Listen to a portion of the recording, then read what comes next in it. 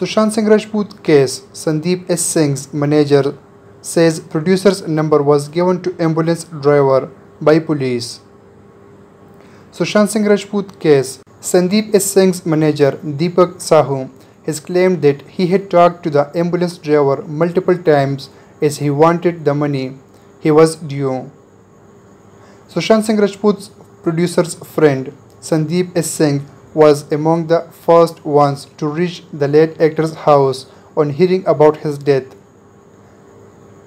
Since Sandip's name often surfaces in various news reports, his manager Deepak Sahu has revealed that he was handling Sandip's phone to take calls of the ambulance driver who took Sushant's body to the hospital. Opening up and why Sandip had revealed calls from the ambulance driver multiple times.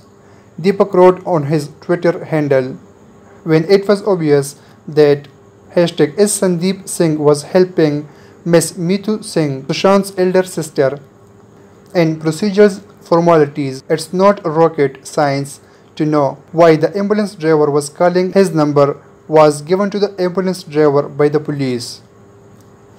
He further added in another tweet, I was handling his phone most of times on 14th June and the driver called up few times in the evening for payment.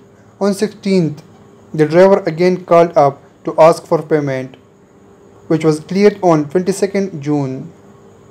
Sushant's father KK Singh's lawyer Vikas Singh has however claimed that the actor's family doesn't know Sandip at all.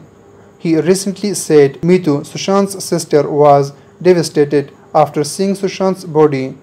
So she went and she was lying down in the room. So he just saw an opportunity and he took charge. Nobody in the family know him. How did he come there? Suddenly, how did they start taking charge? Since nobody from the family was there, there was an opening for him. I guess it should have been Pithani, Siddharth, who should have been there and not Sandip. Please subscribe my channel and hit the bell icon to get more updates.